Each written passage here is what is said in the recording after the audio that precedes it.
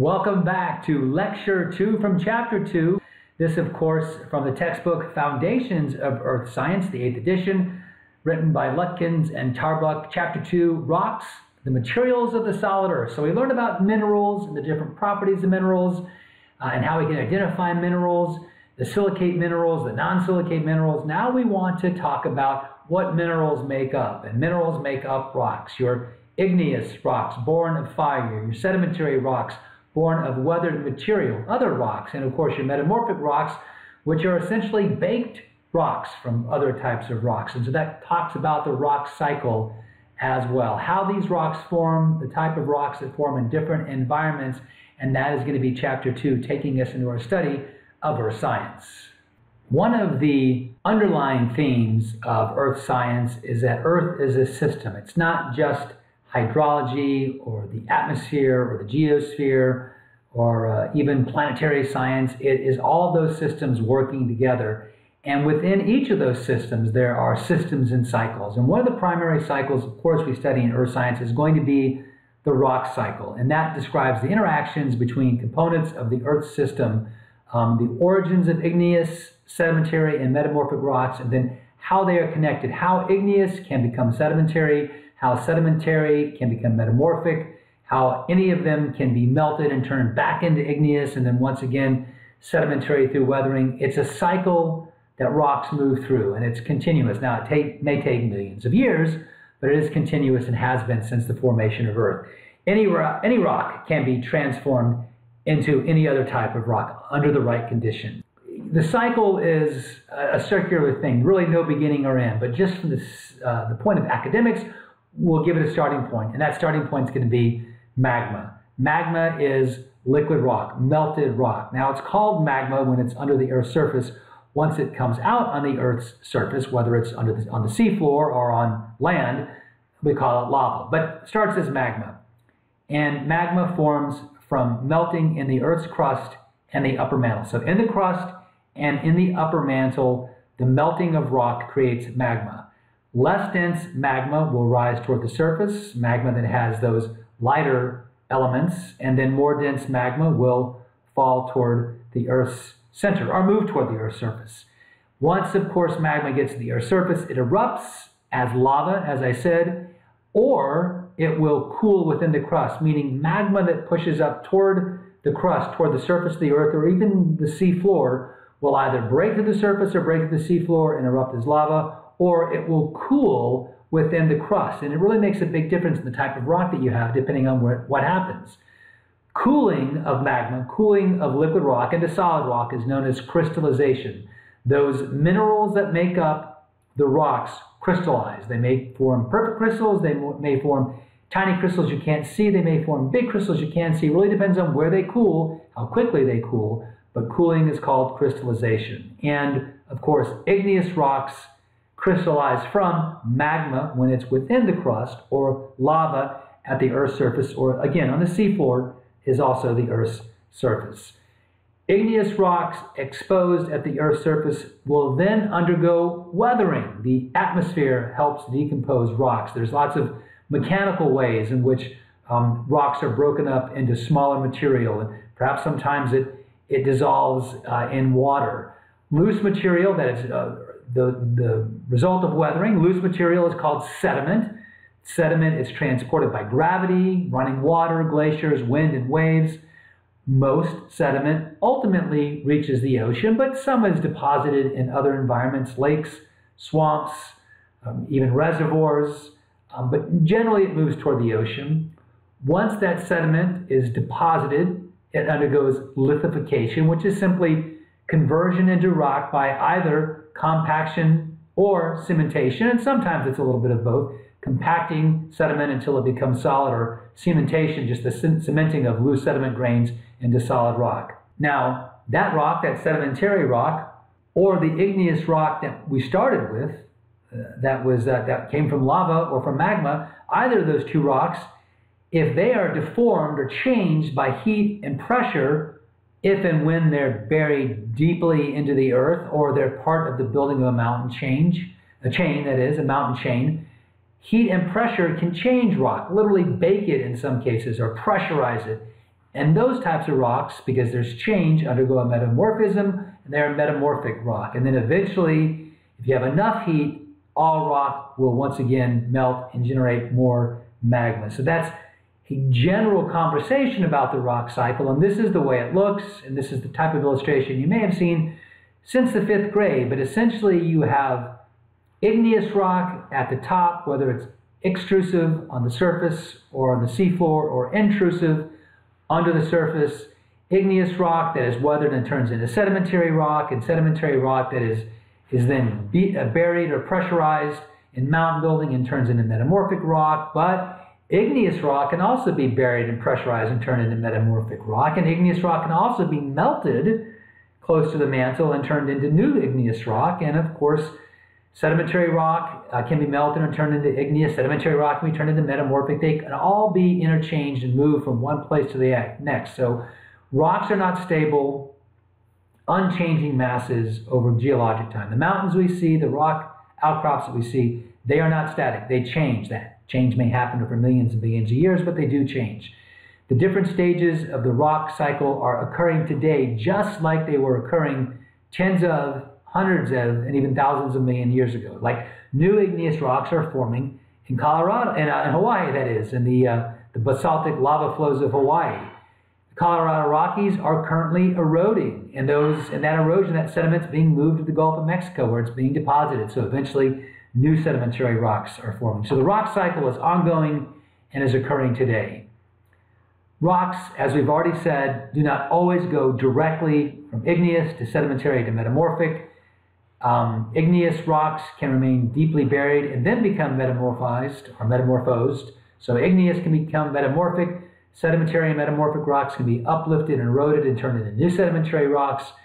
It, it's all sort of an intertwined process, but the rock cycle is driven by internal processes and external processes. It's driven by the Earth's internal heat and the external processes of weathering erosion which are driven by the external processes of sunlight and gravity. Let's start by talking about igneous rocks. Rocks formed by fire. Igneous rocks form when magma or lava cools and crystallizes. Magma is generated most commonly by melting in the mantle, but some is generated by melting in the crust. It rises because it heats up and expands, like all substances heat up and expand and it rises because it's less dense than its surrounding rock. Magma that reaches the Earth's surface, again, that's known as lava. Solidification of lava at the Earth's surface creates extrusive, meaning it's outside of the, the, the, core of the Earth, the inside of the Earth, extrusive, extrusive or volcanic igneous rocks.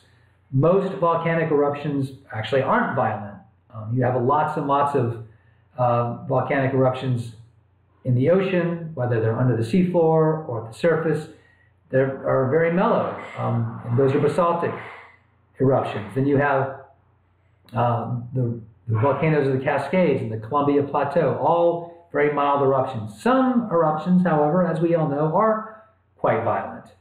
Different types of magma create different types of volcanic eruptions.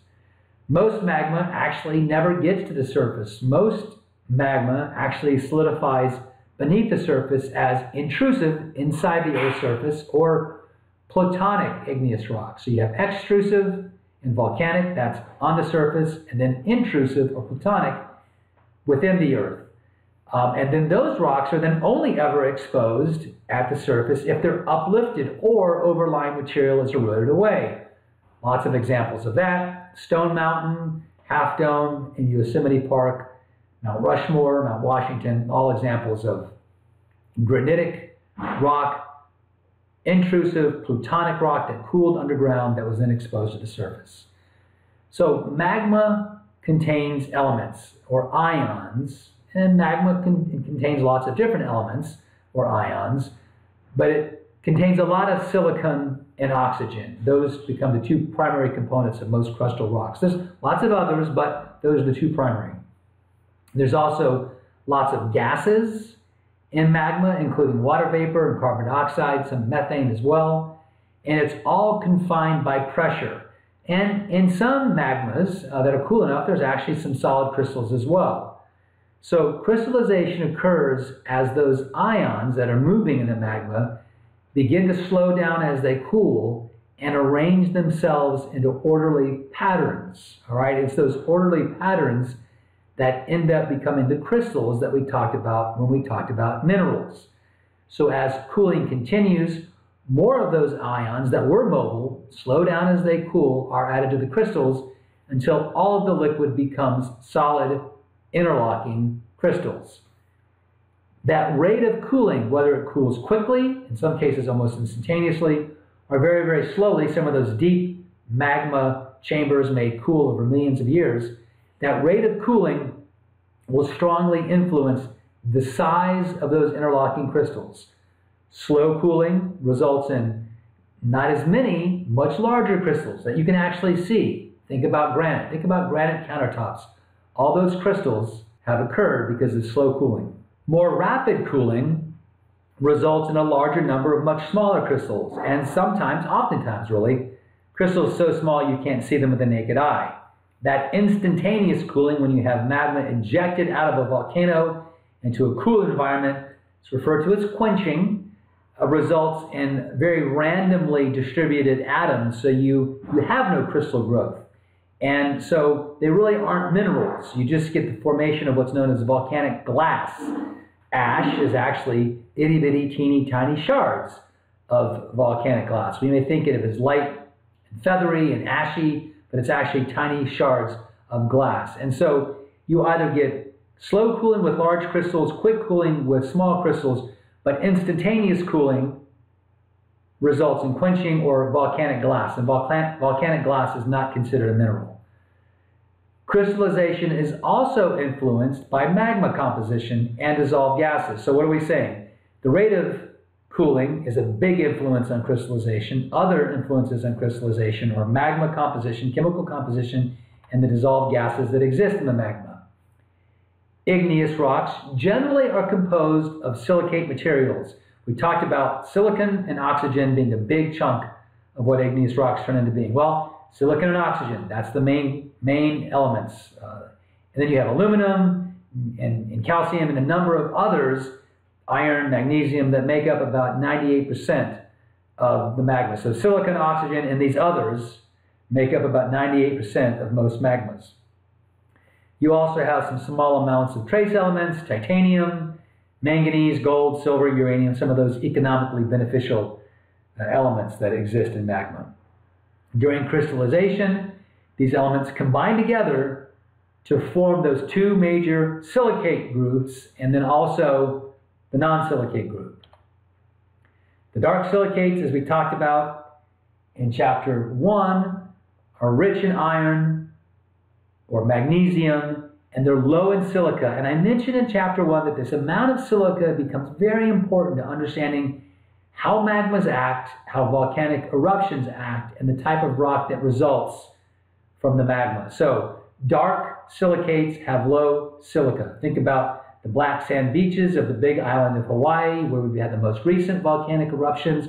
They're black sand beaches because that, that extrusive volcanic rock that forms, it creates the sand of those beaches, is a dark silicate, and it has a very low silica content. You have your olivines, your pyroxenes, your amphiboles, and your biotite micas. Light silicas, again, contain greater amounts of potassium, sodium, and calcium, and they have significantly greater amounts of silica.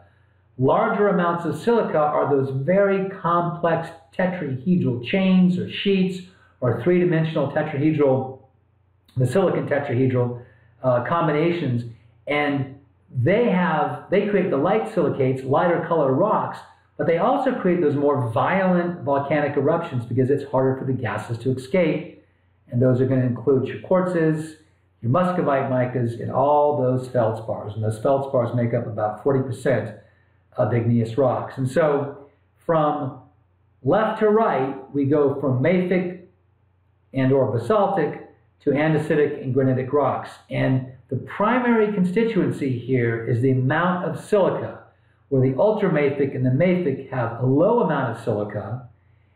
The andesitic has a medium amount of silica, and the granitic, the lighter colors, has a high amount of silica. Now, the second row down, whether coarse grained or fine grained, depends on where the cooling of that magma occurred. You're going to have coarse grained cooling if you have the cooling occurring slowly underground, and the fine grained crystals, the rhyolites, the andesites, the basalts, if that cooling is happening at the Earth's surface. Again, the volcanoes in Hawaii are producing basaltic lava flows.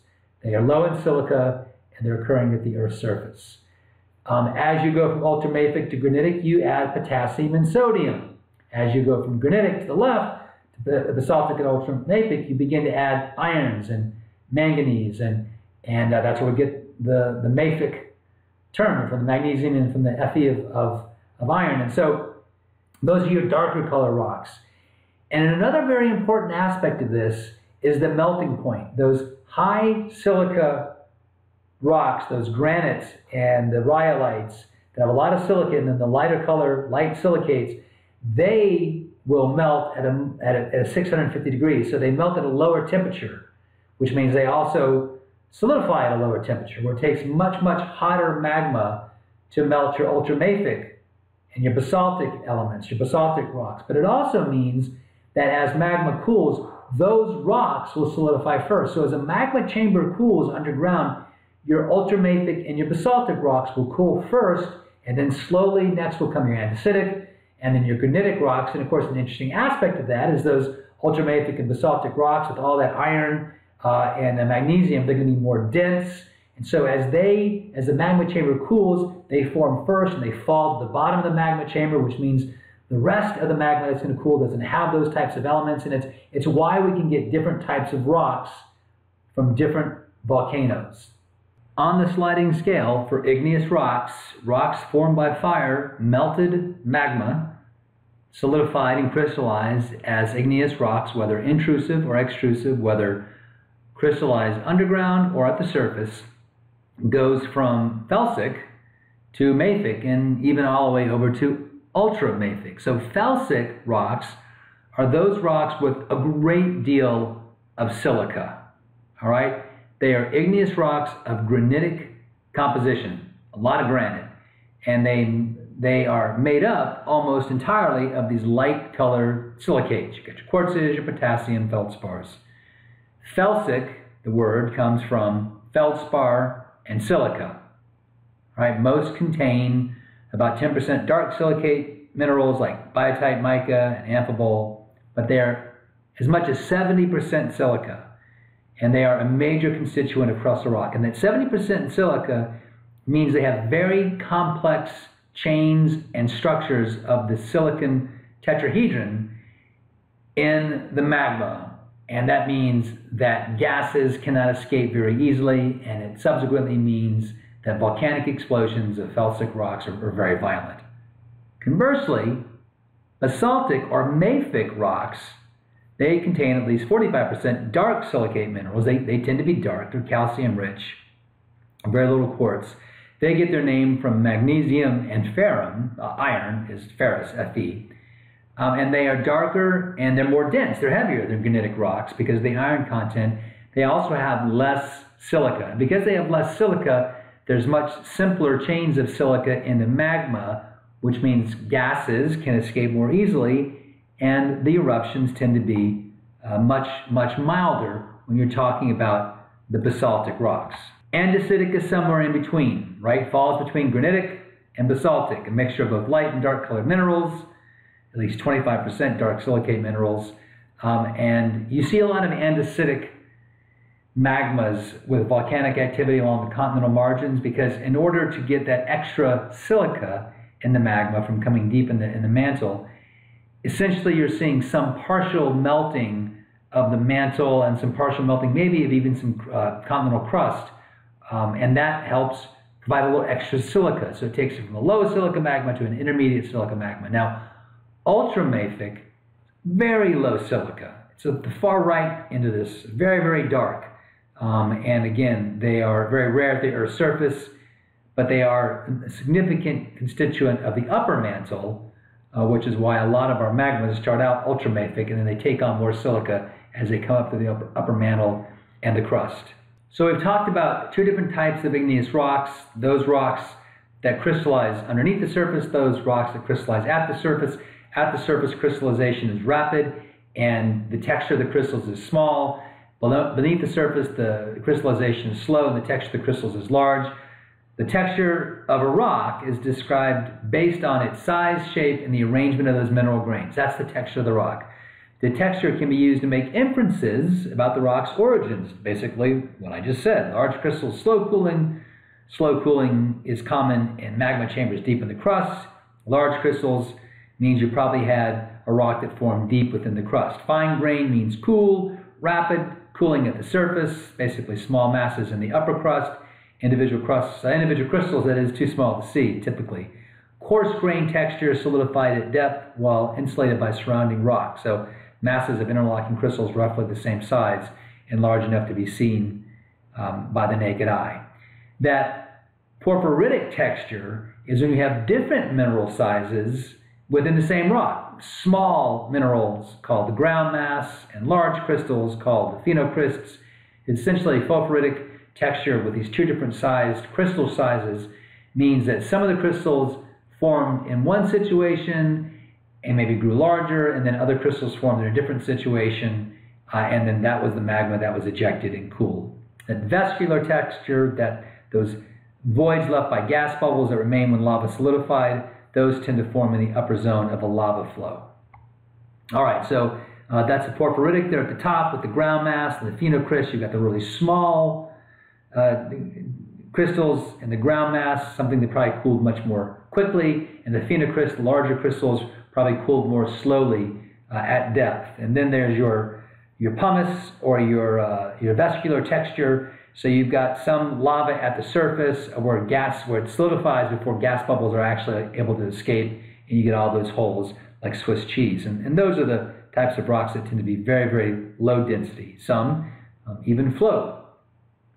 Glassy texture like volcanic glass develops when rocks cool very rapidly the ions freeze before they can arrange themselves in orderly crystal structures. So there's no crystals, therefore there's no minerals. So the glassy, whether it's uh, the uh, volcanic glass or whether it's uh, even tuff or, or a volcanic ash, is not a mineral. It's a, it's a rock, clearly, but it's, it's a volcanic glass. And then the pyroclastic fragmental textures composed of individual rock fragments ejected during an explosive volcanic eruption. Um, you know, you could have angular blocks within the rock pulled out the side of the, the vent. You can have small, fine grain. You can have molten blobs, larger pieces. So that's pyroclastic. It comes from the actual explosion, the actual eruption, and it's pieces of different rocks stuck together. So glossy texture, um, unordered atoms. Again, this is upper left, that volcanic glass, that conchoidal fracture that you can see there bottom line is that magma cooled so quickly that the atoms couldn't arrange themselves into, into crystals. The porphyritic texture, two distinct different sized crystals. You've got the ground mass that's gray with the very small crystals probably closer to the surface, and then the larger crystals that probably form deeper in uh, that are the, the little white crystallizations. Your coarse grain textures, mineral grains that are large enough to be identified without the microscope. There's your, your classic granite, all right, something that formed uh, deep underground. There's your vesicular, uh, your pyroclastic with different shapes and different sizes and some angular shapes in there. And then a very, very fine grain texture, that F, that bottom right, crystals that are too small for the individual mineral to be identified without an actual microscope. And here's yet another table of the classification of igneous rocks. Um, by their mineral composition, textures result from cooling history. So where do they cool? That gives you the, the, the, the textures and the Mineral composition is derived from the parent magma and the environment of crystallization. And the coarse grains, you've got your granites and your diorites and your gabbros. So if you look at the first line of rocks, okay, the fine grain are the igneous rocks that cooled at the surface. Basalt, like the Hawaiian Islands, and oftentimes basalt is what's found in the seafloor. Rhyolite is, I'm sorry, basalt is a very, very low silica flows very easily. Rhyolite's a very high silica and it's very explosive. In between is andesite, what you typically see at the surface with the volcanoes and continental margins. Conversely, and because much magma never makes it to the surface, all those coarse grained The granite, the diorite, and the gabbro, they're, they are the, the sister to the rocks beneath them. They just cooled uh, more slowly and a, at a deeper level. Here's your granite, magma solidifies at depth, then it's uplifted and there's erosion and it exposes the granite dome. That rhyolite is extrusive, fine grained, equivalent of granite. So rhyolite is the equivalent of granite, but granite is formed deep in the earth. Rhyolite is formed at the surface. Light colored silicates, pink, buff, light gray, uh, has voids sometimes and fragments of volcanic uh, glass, and it's cooled rapidly at the Earth's surface. Here's obsidian, natural volcanic glass, typically dark from some metal ions, meaning the, the actual material is trans, largely transparent, but because of those metallic ions, it looks dark. So use obsidian or volcanic glass. Here's your pumice, very vesicular, and again, um, such low density that it actually floats in water. Andesite is a medium gray extrusive igneous rock. Again, that rock that formed at the surface oftentimes um, at continental margins. The Andes Mountains are named for andesitic or andesite rock. Um, it's an intermediate silica content. It's relatively explosive in its volcanoes, um, like Mount St. Helens. And again, you find them along the Pacific Rim. And the diorite is that coarser grain formed slowly deeper in the earth, equivalent of andesite. Basalt, that forms at the surface. Gabbro forms under the surface. Basalt is the most common type of extrusive igneous rock. Very low silica, comes from the upper mantle, common in volcanic islands, upper layers of the oceanic crust. Um, there's big basalt flows in central Oregon and Washington state. The uh, Columbia River Plateau is just a bunch of different basalt flows. And then gabbro, that's what the same rock, same composition, but it cooled underneath the surface, typically under the surface of the ocean, under the seafloor, and it's coarser grained. It's an equivalent of basalt, not very common at the Earth's surface um, and a big component of oceanic crust. All right, so we've already sort of talked about this with the Bowen's uh, series and, and the way we've talked about the fact that one volcano can generate different rocks because magmas evolve. Magmas don't stay the same, they evolve over time. So different rock types can be generated by the same melt. Bowen's reaction series describes which minerals solidify at specific temperatures. First to crystallize is olivine, so a very low silica rock, and last to crystallize is quartz at, at a lower temperature, a very high silica rock. So, um, and in between is your amphiboles, your biotites, your muscovites, your potassium feldspars. Minerals that form at the same temperature range tend to be associated with the same igneous rock. So, once again, there's Bowen's reaction series. 1200 degrees, ultramafic will begin to crystallize. Then, as it cools down to 1000, maybe mafic, then down to 850, intermediate, and finally those felsic rocks, those granitic rocks, will begin to crystallize at a lower temperature. Um, they have a lower crystallization point, but also a lower melting point, which means your quartzes and whatnot are gonna are gonna melt at lower temperatures as well. Um, and so um, your olivines will will crystallize, then your pyroxenes and your amphiboles and your potassium feldspars, your micas and your quartz as the magma cools. And this differentiation in, in cooling results in mag magmatic differentiation, just basically magma that's different at different times. Magmatic differentiation is the formation of one or more secondary magmas from a single parent magma. You start with the main magma, and then as things cool and crystallization occurs, you get a secondary or even tertiary or even fourth and fifth magmas. And that allows us to have one, two, three, four different types of igneous rocks. It explains the diversity of igneous rocks, that the magma composition is continually changing, as, crystal as crystals form, certain elements are selectively removed, resulting in depleted magma, and also crystal setting. When crystals form with those, those mafic rocks and ultramafic rocks, they are heavier crystals. They are denser crystals. They have a, a higher specific gravity. They will settle to the bottom of the chamber, and the other magma that finally forms then will not have those with those elements in them. So here's your magma having a mafic composition, nice basaltic flow. It it's very mellow. It, it flows out almost like water. Uh, and then you have some cooling of the magma body because it's up close to the surface. And you get crystals of olivine and pyroxene and calcium rich crystals. And they form and they're heavier. And so they fall to the bottom of the magma chamber. Sometimes they even stick to the walls. And so the remaining melt has got now more silica in it um, because those other low silica minerals have have crystallized out. They've come out of the solution. So now the solution has, is a higher percentage of silica. And so your subsequent eruptions are going to be more violent and you're going to have more felsic rocks than from the original magma.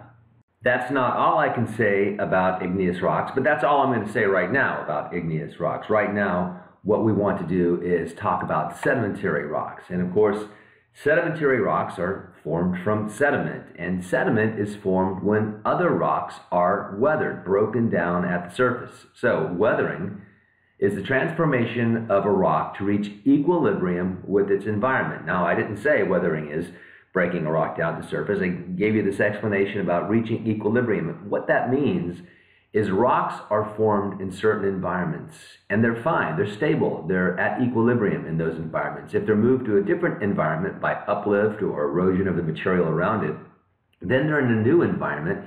And in that new environment, nature wants to reach equilibrium, and weathering is the way it does it. And weathering then effectively becomes the breaking down of rocks at the surface. Two basic types, mechanical and chemical, they both work together. They both work at the same time. Mechanical weathering actually helps by creating more surface area for chemical weathering. And then chemical weathering helps mechanical weathering by weakening the surface of rocks. So they both work together simultaneously. And then once those rocks are broken down at the surface into smaller pieces, erosion moves that weathered rock away and deposits it as sediment. So mechanical and chemical Mechanical is the process of breaking down rocks into smaller pieces. The rocks retain the same physical properties of their original parent rock, and then it actually helps to make chemical weathering occur more easily. So we take this first rock on the left. Each side is four square root units. It's got six sides, and so it has 24 square units. We cut that rock in half three ways, up, down, and sideways. Now each cube has, uh, each face has one square unit. Each cube has six sides, so six square units. There's eight cubes, so now we have 48 square units. You can see by weathering that rock into smaller pieces, now there's more surface area for chemical weathering to apply itself to. If you cut them in half again, you've got 64 cubes now, and then each of those has a quarter of a square unit, so now you have 96 square units for chemical weathering to work on. So mechanical weathering actually makes chemical weathering uh, more effective by providing with more surface area to work at. Two basic types of mechanical weathering. We have uh, frost wedging, well, wedging, which includes frost wedging and salt wedging, and then we have what's known as unloading, which we'll get to in a few moments. Frost wedging is the fact that ice expands 9% when it freezes. Water expands, it, it gets bigger when it freezes uh, it takes up more room. So you put a water in a glass bottle, you fill it to the very tippy tippy top, you put it in the freezer. When it expands, it's going to increase. When it freezes, it's going to increase by 9%, and it's going to crack and break uh, the container. Very similar thing happens with rocks. Water gets into cracks, it freezes, it expands, and it cracks a rock. But not only does it freeze and expand, we, we now research points to the fact that it freezes in these lens shapes that actually causes uh, rocks to be lifted up and moved away. And you can see that with the frost wedging on the left, upper left. And this is the way it looks on a mountain range. You can see that all these triangular slopes here, these are talus slopes. This is where rock up here from frost wedging has broken off in smaller pieces and fallen down and created this apron of smaller rock around it. That is weathering and then the sediment. And of course, if we get rainfall and water moving or wind or maybe even a glacier moves into here, it's going to pick up all that broken rock and move it into uh, basically downstream, and that is your erosional process and eventually deposit it somewhere. So we can wedge through uh, water freezing, but we can also wedge through the growth of crystals such as salts. So salt water contains salts, not just sodium and chloride that we taste as salt, but different types of, uh, of elements within the water. When that water evaporates, it evaporates as pure water and leaves those salts behind. In the case of sodium and chloride, sea spray or, or even salty groundwater, when it evaporates in rock crevices and in pore spaces, salt crystals grow and they grow larger and larger over time. They weaken the rock by pushing it apart uh, and they create cracks. And so you get this type of salt wedging occurring typically along rocky coastline, but in arid regions where they're exposed to some salt and salt water as well. Unloading that I mentioned in mechanical weathering uh, is, is this process. You can see uh, in the illustration to the left, we've got a deep pluton. So a pluton is an igneous um, emplacement. So that whole pluton used to be a magma chamber. It cooled over millions of years very slowly, creating granite. And it's all happy and fine. And then some uplift occurs. It gets pushed up maybe through mountain building or plate tectonics. And then all the land over it erodes away over time. And now it no longer has that pressure pushing down on it. And without the pressure pushing down on it, because the land over it's eroded, the pressure inside the rock pushes up and it causes it to sheet in, in very thin layers and, and break. And then those thin layers kind of fall away. And that's known as sheeting or unloading. And we see that with the granite domes that are exposed here in North America, whether it's out in the Yosemite, in the, in the, in the Sierra, or even uh, places like Mount Washington. And uh, you can see that in Stone Mountain in Georgia as well. All right, another type of mechanical weathering, sometimes referred to as biological weathering, but uh, this is essentially when living things break rocks apart. So plant roots grow into cracks and wedge the rock apart. Burrowing animals expose rock to increased weathering. Um, decaying organisms produce acids, which will contribute to chemical weathering. So biological activity also has a big impact on, on weathering rocks.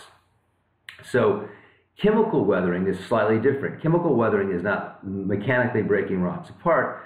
Chemical weathering alters the internal structure of the minerals. It actually chemical reactions changing the rock. So elements can be added or removed. Um, the original rock that's now in this new environment can be transformed in, into a more stable material, um, and it makes the outer portions of some rocks um, more susceptible to mechanical weathering. By weakening the outer portions, they're more susceptible to mechanical weathering. So water is probably the most important agent of chemical weathering. Uh, you get oxidation uh, and you get dissolution or dissolving uh, through carbonic acid. Uh, and you also have something known as hydrolysis, where hydrogen ions replace other elements within uh, the rocks, the igneous rocks or the sedimentary rocks or the metamorphic rocks, and it, it breaks that rock down into a more stable material. So um, oxygen dissolved in water causes oxidation. That's just when you know oxygen attacks uh, other molecules. Rust is oxidation.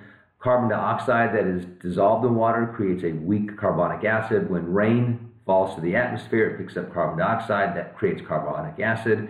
When rainwater percolates through the soil, it picks up uh, more carbon from decaying animals. That carbonic acid uh, acts to dissolve certain types of rocks. Not all rocks, but certain types of rocks.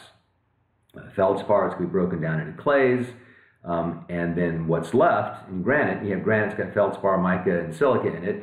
The feldspars are broken down to clays, the mica may be broken down into smaller pieces, and the silica is carried away by groundwater. Silica ends up being the sand of our beaches because silica is very hard, of course, is very resistant to weathering, uh, and so it typically doesn't get broken down. Chemical weathering of a silicate rock by carbonic acid um, again, the feldspar minerals can be broken down into clay, um, and uh, the clay is a more stable material. Weathering takes big rocks and breaks it down into little rocks. Sedimentary rocks form after weathering breaks those rocks down. The weathering breaks the rocks down, gravity and erosional agents move that sediment away. The sediment is deposited in a different environment and then it becomes lithified. And lithification is simply unconsolidated sediment becoming solid rock, and it happens through either compaction or cementation. Uh, most sedimentary rock is deposited by solid material settling out in the fluid. So mostly we're talking about sediment being carried down to the ocean, settling on the bottom of the ocean, and eventually becoming sedimentary rock. Makes up about 5% of the Earth's outer 10 miles but it accounts for about 75% of continental rock outcrops. Um, and it, sedimentary rock is excellent for helping to reconstruct the details of Earth's history because it, it's laid down in layers, contains fossils.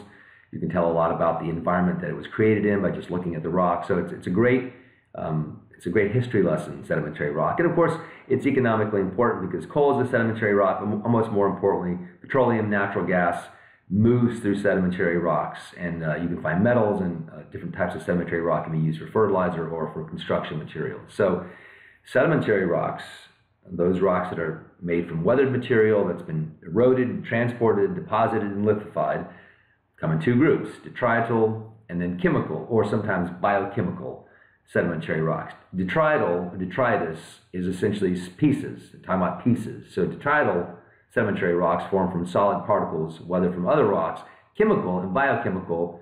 That's when you have things dissolved in solution. So water has got ions in it from, from rocks that have been weathered, and those those elements, those those ions, uh, at a different time precipitate out of solution and turn back into rock. So here's detrital, contains a wide variety of mineral and rock fragments. Those are the pieces, mineral and rock fragments.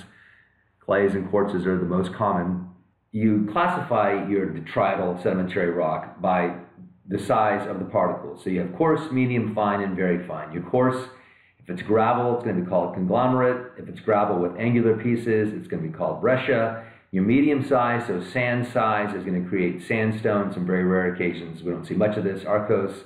And then your finer grain sizes are going to create your siltstones, and your very, very fine, like your clays, are going to create your shales and your mudstones. Um, and again, very useful in determining the environment of deposition because it takes faster moving water in a higher energy uh, environment to carry gravel sized pieces downstream than it takes to carry clay sized pieces downstream. So you can tell what type of environment deposited uh, the material just by the, the size of those individual pieces. All right, chemical sedimentary rocks, water carries ions in solution, so it just gets mixed in. Salt, take salt, put it in water, it's going to break down into sodium and chloride.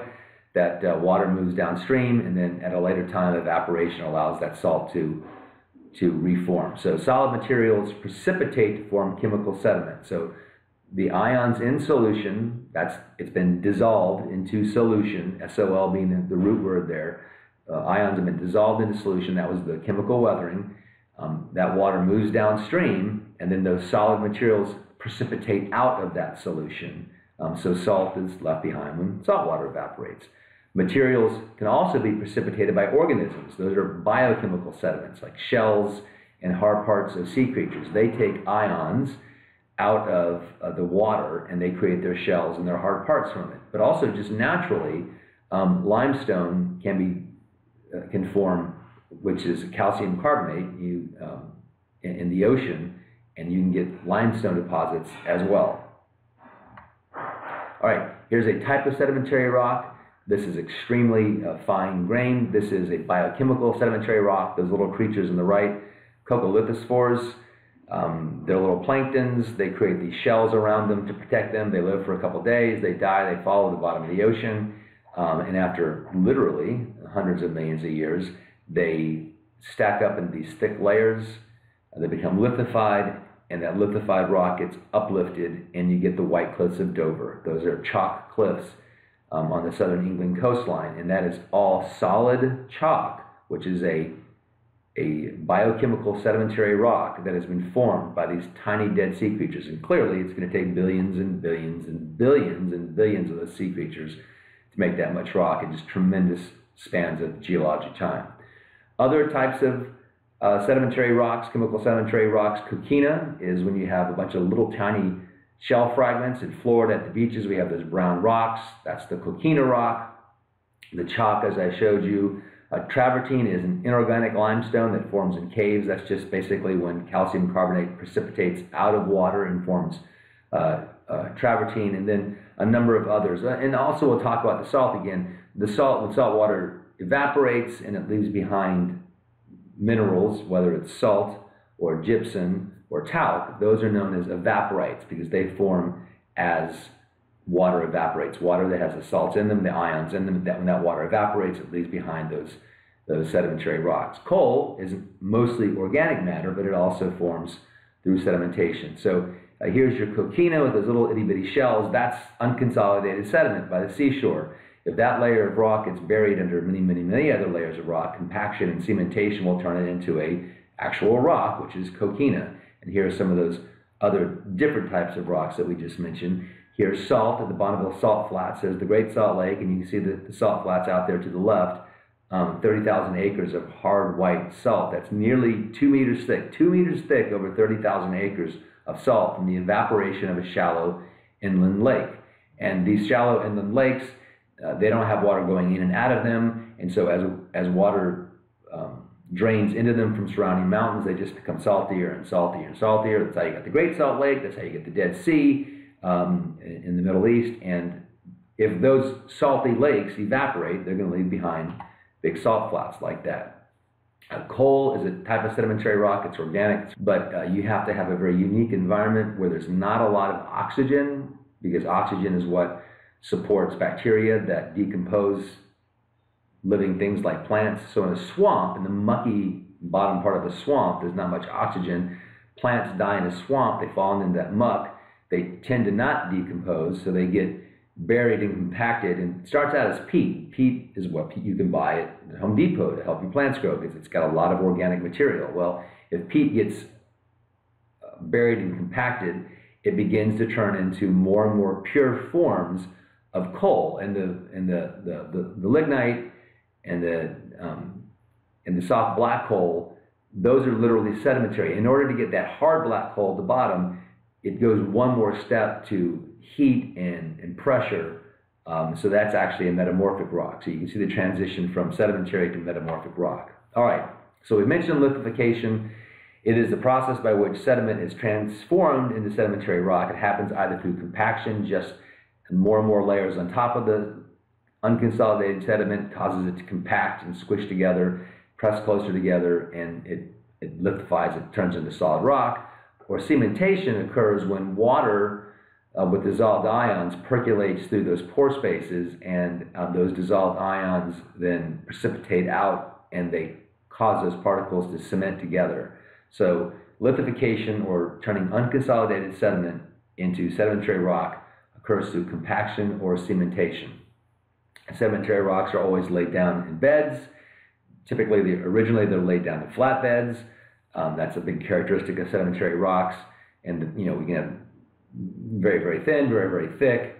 Um, but um, where you see a separation in sedimentary rock, like on a cliff, one type of sedimentary rock for a foot or two, then a different type of sedimentary rock, that that area between them is called a, bedding plane. And those bedding planes show you where one type of sedimentation or deposition stopped and another type ended. Basically, it shows you a change in the environment is how you get different types of of uh, strata stacked up one on top of the other. You see that very well explained in the Grand Canyon. Almost 400 million, 500 million years of, of sedimentary rock is shown in the Grand Canyon. Fossils are found in sedimentary rock, and that helps make them great for uh, helping us to decipher past environments. The fossils that we see, whether it's uh, fossils of living things or just fossils of past environments, you get fossils here of mud uh, cracks and fossils here of, uh, of little of waves, essentially. That, that on the right is where some sand, some very salty sand, was moved by waves and created these little hills. And you, if you're snorkeling in the still water, you might see these types of ripples on the bottom of the uh, ocean. Well, if they get covered by additional sand and silts, eventually they might be compacted, and that's a fossil of those those original little hills in the bottom, little rills in the bottom of the ocean. All right.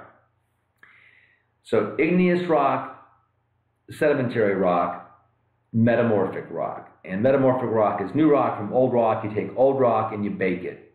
You pop it in the oven, right? You either bake it or you bake it and, and pressurize it. Either way, whether it's just from heat or it's from heat and pressure, metamorphic rock is any type of rock, sedimentary, igneous, or metamorphic, that's been heated and pressurized and changed into a new type of rock. Um, it occurs when the parent rock is subjected to different physical or chemical environments, so elevated temperature and pressure, but also you can get some types of very active fluids deep in the Earth's core that, that will help to change rocks. So metamorphism is something that doesn't happen in an instant. There's no tipping point where one rock turns into another. It happens incrementally. So heat and pressure build up and the rock slowly changes. And so you have low grade metamorphism with slight changes to a higher grade metamorphism with more significant changes. So um, here are two examples. The parent rock is shale. So shale is going to be clay, clay, mudstone or clay. So, you know, clay in a very still environment settles at the bottom of a, of a big lake or the bottom of the ocean and more clay builds up and more clay builds up. Eventually those, um, those little fine figments or little pieces of clay are are compacted together and it turns into shale, which is a nice little rock. Well, that same shale, if pressurized, or really just heated, low pressure, low heat, will slowly turn into slate. And essentially, all you've done is really more tightly packed the minerals together. Um, the other side of that is a more of a granitic rock, that parent rock at the bottom. You can see it's got sort of randomly oriented minerals with high grade metamorphisms, strong compression, strong heat. Those minerals are literally lined up, and you can see how they create this foliation, these lines, and you can actually see wavy lines in there. So that's from the deformation of that rock. And so that's granitic rock turned into gneiss, or sometimes we say gneiss is the name of that rock. All right. Metamorphism is going to occur in two different settings. You have contact metamorphism and regional metamorphism. Contact metamorphism is um, rock that's subjected to increasing temperatures. Some magma comes into contact with the rock, literally bakes it. Regional metamorphism is more uh, high pressure and high temperature that happens from plate tectonics and during the process of mountain building. So it's, it's a much larger area, it's heated and pressurized, and uh, that's regional metamorphism. So again, heat and confining pressure are the two main agents of metamorphism. Um, heat from some magma, and sometimes heat comes from just that rock being buried deep from, from plate tectonics, uh, chemical reactions, and recrystallization of new minerals. So the heat causes a chemical reaction within the rock, and the old crystals recrystallize into new minerals. Pressure, basically pressure in all directions, um, squishes the minerals together, and that causes them to recrystallize. Now, you can have differential stresses where you have pressure more so in one direction than the other. That causes rocks to not only be pressurized but to deform. And that gives you those textured metamorphic rocks like we see with the, with the gneiss down here in the bottom right. Not only was it pressure to cause those grains to line up, but it was also deformed. And so that's going to be a differential stress placed on that. And then the last, I mentioned the chemically active fluids. Hot fluids deep in the Earth's surface can cause recrystallization to occur. It can dissolve uh, a mineral in one spot and allow it to precipitate out in another spot and literally changes the chemical composition of the surrounding rock. So here's a couple of examples of, um, of metamorphism. Low-grade metamorphism makes rocks compact and more dense. And so in this case, you're looking on the right, you're looking at confining pressure. So it's, it's equal, the top right is equal in all directions. And um, this is in a depositional environment, as confining pressures increase, rocks deform by decreasing in volume. Essentially, they get smaller, they get squished together, right? So it's a big chunk, now it's a smaller chunk. It's equal pressure in all directions. The bottom, during mountain building, you get all types of uplift and, and pressing down. You're going to have differential stresses, and the rocks are literally shortened in the direction of maximum stress, and then they lengthen where there's less stress, and so it causes these wavy, uh, um, wavy striations. It's called foliation in the rock. And here we have our foliation. Before metamorphism in the illustration, our our mineral grains are moving and pointing in every which direction.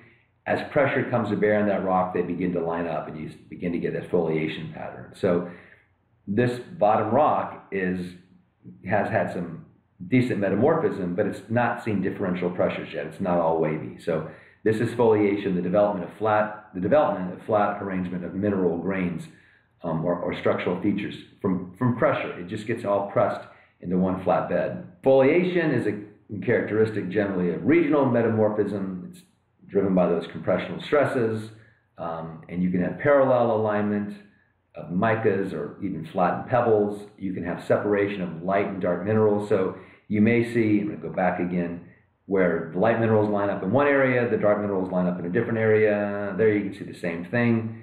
Um, so that foliation really creates some distinctive looks to some of these rocks. They you, go from the granite on the left to the gneiss or the schist on the right, and it, it's definitely a distinctive look. So you can get metamorphic rocks that are non-foliated. Uh, basically, if the parent rock is composed of very large stable minerals, you're not necessarily going to get uh, any type of foliation. So here are your uh, common metamorphic rocks. And again, either slate is where that mudstone or that shale stone has been squish down and your, your clays just get nice and lined up. Um, and then, you know, as you progress down from, um, from minimal par- amounts of metamorphism to significant amounts of metamorphism, you can see how those, um, those rocks change from the slate to the phyllite to the schist and the, and the gneiss.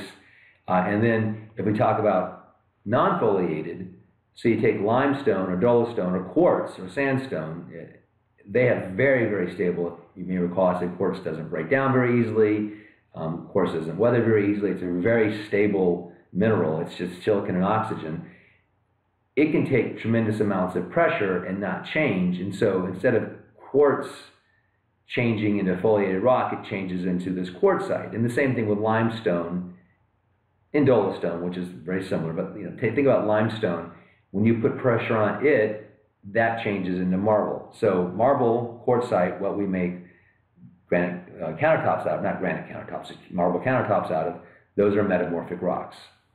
There's your, your slates, right? Rooftops, roof shingles, and you can see those flat slate pieces that are sort of out in nature there. And again, that's metamorphic rock. You take shale or mudstone, you pressurize it, and it becomes your slates.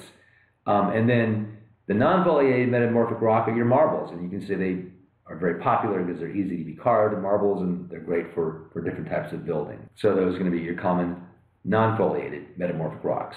So that was chapter two from the Foundations of Earth Science textbook, the eighth edition from Lutgens and Tarbuck.